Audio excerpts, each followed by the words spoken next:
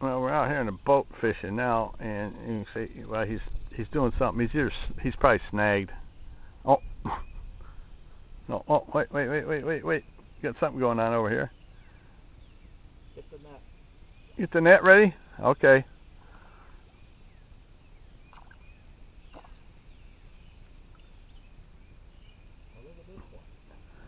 That's a pumpkin seed, I think. What they call pumpkin seed because it's bright orange. Catching, we're catching bluegills out here on a fly rod today.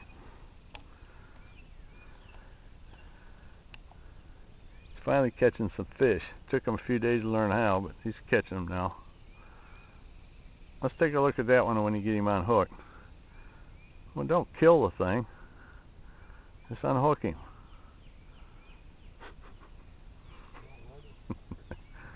This is funny stuff.